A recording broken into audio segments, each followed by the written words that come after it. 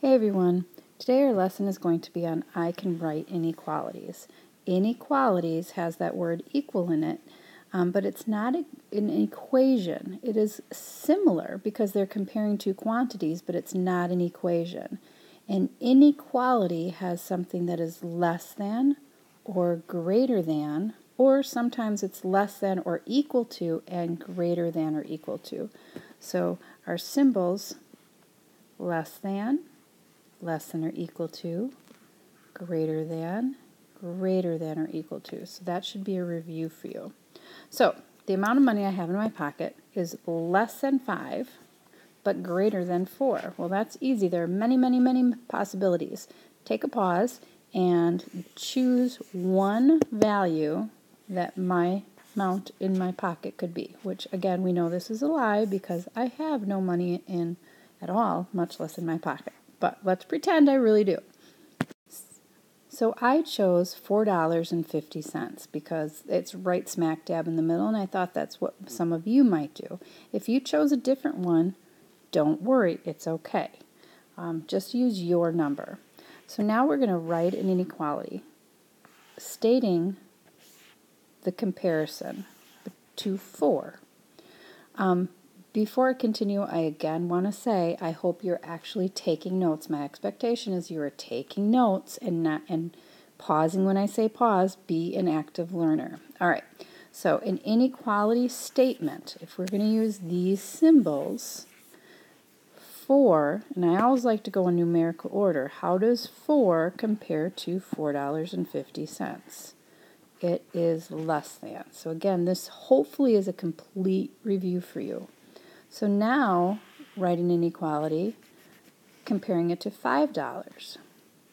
So 450, again I like going in numerical order, is less than 5. That's a lot of what we're going to be doing today with irrational numbers, and then eventually we will um, talk about opposites and how they the opposites compare in inequalities. All right, so it says graph your answer from the opening exercise. My answer was 4.5 or $4.50, so I have to graph that. And so, how am I going to number my number line? Well, if I have 0 on there, and it is right in the middle, I would have to to be able to now I'm gonna to be able to get up to the four dollars and fifty cents I would have to number by ones. Um, if you had zero or you did not have the zero you could have actually numbered by tenths. So I'm going to just stick with this. One two three four five and the negatives. But again 2, negative 3, negative 4, negative 5. You could have numbered by tenths and then have this in this spot instead. So whatever you chose to do is fine. We could have numbered by tenths or here. Either way we can do this problem. So I plotted my point because it is between 4 and 5, it's going to be right smack dab in the middle. So it is right there. So this is my answer to A. And then it says graph, four, and sorry, I know this isn't on yours because somehow the 4 and the 5 didn't show up, but graph 4 and 5. So here's the 4 and here's the 5. So how does this relate? So explain in words how the location supports the inequality statement. Well, I wrote in my inequality statement 4 is less than 4.5 and 4.5 is less than 5. So, if I am explaining in words and I'm not going to write it, but listen carefully and you can you can do something similar, I would say this supports my statement because 4 is further to the left than 4.5 and we know the further to the left the least it is. So 4 is further to the left than 4.5, and 4.5 is further to the left than 5. So 4.5 is less than 5. So remember, anything that is further to the left is less than. So please stop and actually write, explain in words so it's embedded in your head. So 4 is further to the left than 4.5, which makes it less than 4.5, and 4.5 is further to the left on the number line than 5, which makes 4.5 less than 5. So take a moment, write that down. So a unit I know that you'll be having sometime in your life, probably, I don't know, um, eighth or, or ninth grade, is compound inequalities. And compound inequalities is where you write one inequality statement describing this. And so I use the word smush. And I know that it is not very mathematical, but that's the word I use. It's like you're smushing these together. We know that 4 is less than 4.5 and 4.5 is less than 5.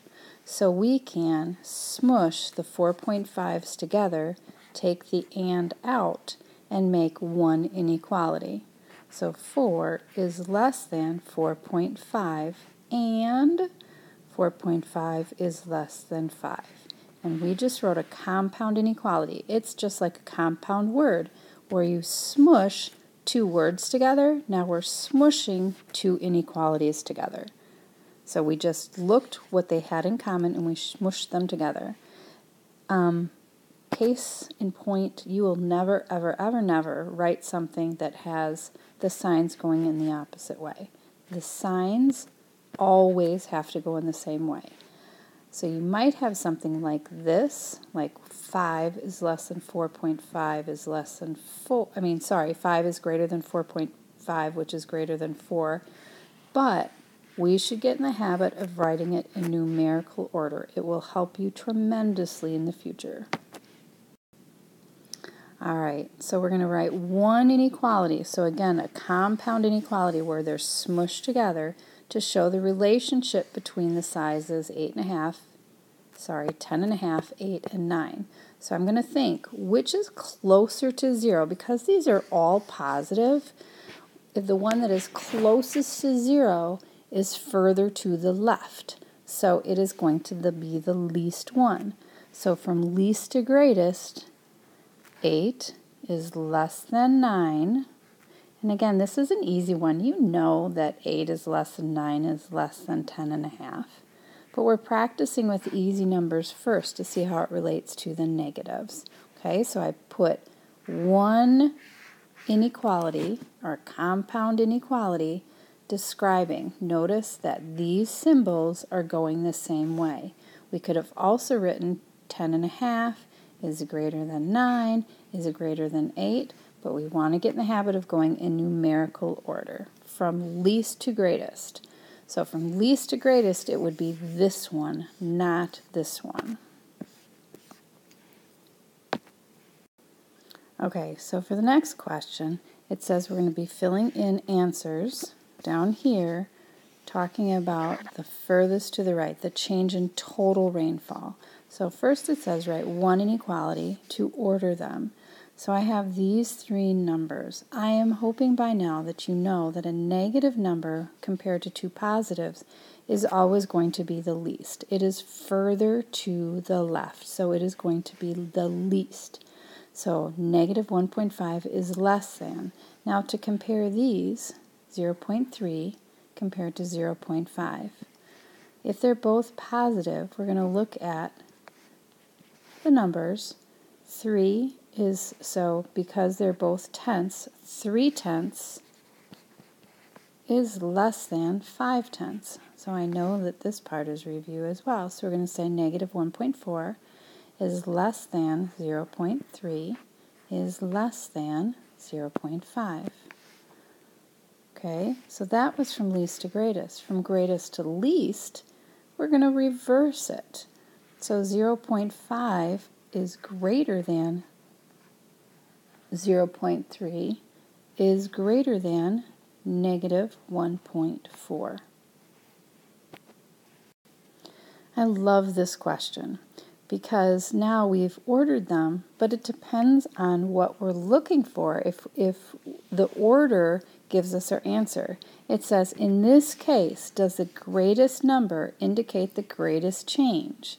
Well, here's the greatest number, but this change 0.5, think about it. It only changed in July, it only changed a half of an inch. But here, it changed almost one and a half inches, so almost three times more. So even though this is the least number, it does not indicate the greater change. So this explain part, remember, is really important. We're having you communicate mathematically.